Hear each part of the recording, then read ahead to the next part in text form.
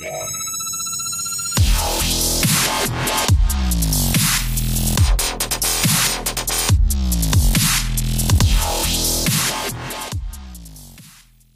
up guys, SooFooCrew here, back with yet another video for your viewing pleasures.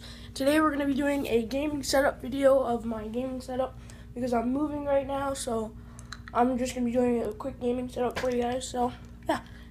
So let's get into it right away. Sorry guys. This is a very inexpensive gaming setup. So I'll just go into it.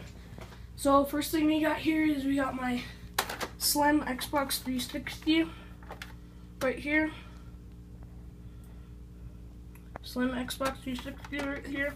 Just a normal Xbox 360 basically. Then we got a Kinivo, I think that's how you call it. An HDMI splitter. I need that because I have a lot of HDMI devices. So right here is nothing. All of my games are in here in this bag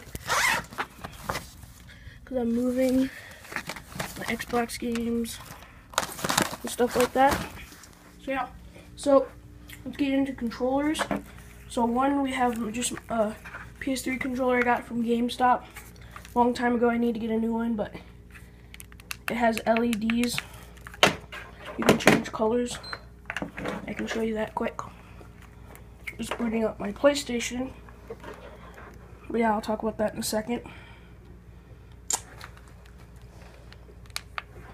You can change the LEDs from red to green to blue, purple, lighter blue, and then off.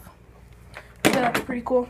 The next thing we have here is my PlayStation 3, what I do all my capturing with because my Xbox isn't working with my capture card. So yeah, here we go, PlayStation 3, just normal PlayStation 3. Then you got your Diamond GC500 capture card, how I capture my gaming. And then we just have the green extension cord running from here to this outlet back here. And then this is my PC setup. So let's just come back here. It's just a normal PC right here. Just simple normal PC. I got my Xbox headset. I got my headphones I use for all my editing and video watching. I got my tripod here on my desk.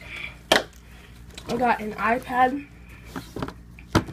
that I like to use for watching YouTube videos when I'm playing games on my laptop. I have Unturned right now. I've been playing that and Team Fortress 2.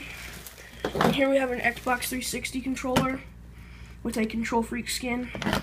And then I got another one in this bag over here.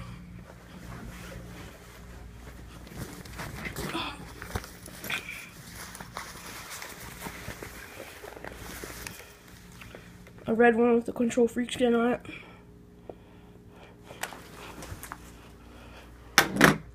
I just got an iPad charger. Sorry about sorry about that guys. But yeah, then I just got a calendar there. And then a light for when I record. It's a tap light, so it's got a couple different settings. So yeah, that's, that's basically my gaming setup. How I usually game. Then here I got my Vizio TV. I'm not exactly sure what size this is.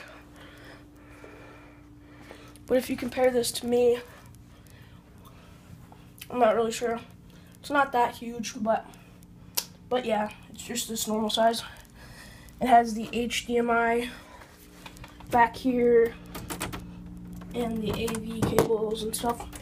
This is where all my games were. Are gonna be in my new house and where my PS3 games used to be. This is where they're all gonna be. Here's just a normal table with the granite that I hold everything on. My Xbox used to be under here. Since we're moving, I'm bringing it up so because we're gonna put it in boxes. And I just have this, all this junk. But yeah, guys, if you liked the video at any moment of this place of my gaming setup for 2015, please leave a like down below and leave a comment of what videos you'd like to see next. So yeah, I guys, I hope you guys enjoyed this video. And yeah, pretty much. See you later. Peace. As I said in the in the before that this gaming setup is very inexpensive. Um, well, it's not super inexpensive, but it's not as expensive as some super huge PCs.